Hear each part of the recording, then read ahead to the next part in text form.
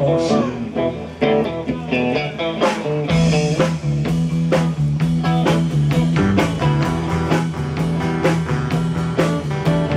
When I was a little baby, my mama